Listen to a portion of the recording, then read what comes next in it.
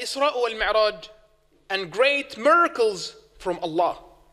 All praise is due to Allah, the Lord of all worlds, who says in his ever glorious book, Glory be to him who made his servant travel by night from the sacred place to, of worship to Al Aqsa Mosque, whose surrounding we have blessed to show him some of our sign.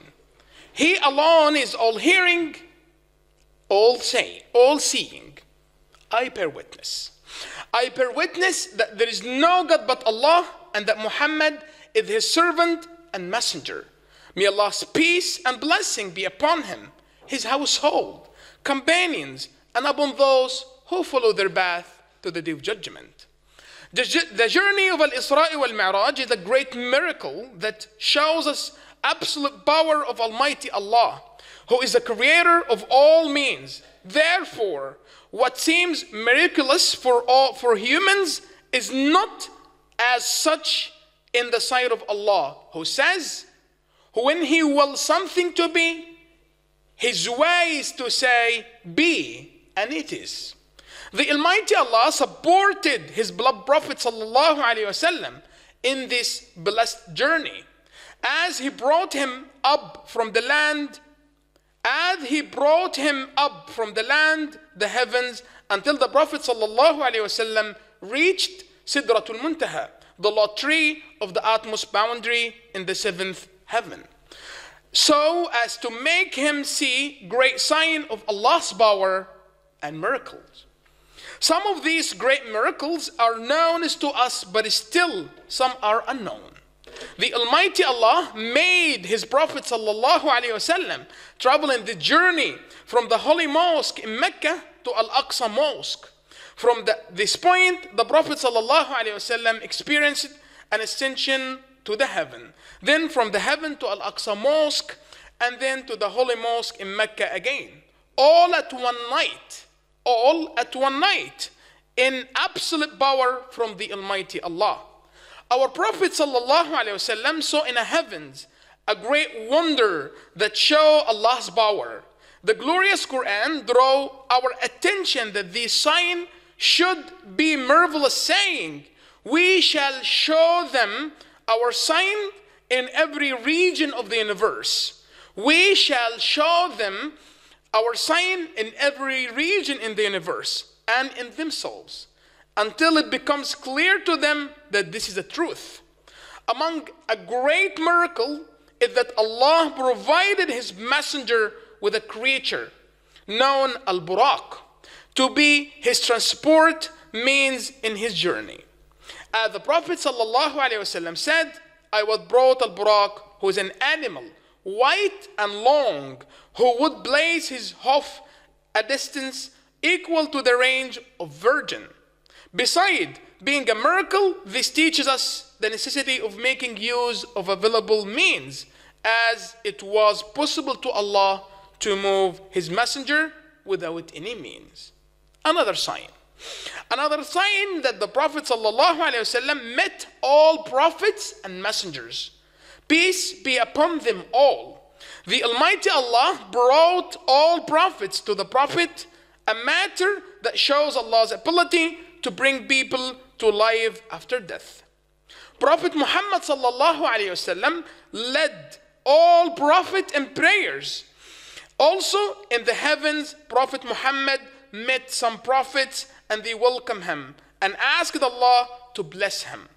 This incident is a representation of Allah saying, Allah took a pledge from a prophet saying, If after I have bestowed scripture and wisdom upon you, a messenger comes confirming what you have been given, you must believe in him and support him. Do you affirm this and accept my pledge in bending as a bending on you? They said, We do. He said, Then bear witness, and I too will bear witness. Another sign is seeing Al Baytul Ma'mur, the much visited house in the heaven, as the Prophet ﷺ said, I saw Ibrahim. I saw Ibrahim resting his back to Al Bayt al Ma'mur, a house that 70,000 a house that 70,000 angels enter it daily, and after they came out, they never return again. Allah made an oath in the Quran with his, this house, saying, By the much visited house. Another sign. Another sign is reaching Sidratul Muntaha. And this is a great honor bestowed from Allah to His Messenger. As Allah said, the Prophet ﷺ own heart did, did not distort what he saw. Are you going to dispute with him what he saw with his own eyes? A second time, he saw him by the lot tree beyond which none may pass, near the garden of rest, restfulness, when the tree was covered in the nameless splendor. All praise is due to Allah, Lord of all worlds. May Allah's peace and blessing be upon Prophet Muhammad sallallahu alaihi wasallam, his companions and followers. The journey of Al-Isra wal Mi'raj was divine honoring to our Prophet wasallam. After all of the troubles and advertises that he had suffered, it was blessing to relieve the Prophet pain. It was blessing to relieve the Prophet pain and to assure and strengthen his soul and heart. As Allah said, so truly, where there's a hardship, there is also ease. So truly, where is a hardship, where there is a hardship, there is also ease.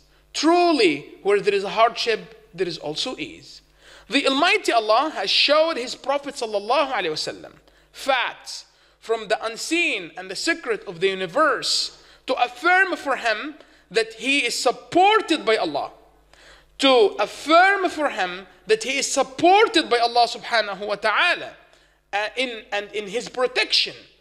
Imam al Busayri said, describing this incident, O Prophet, O Prophet, you traveled overnight from one sacred place to another as the full moon travels at night through intense darkness.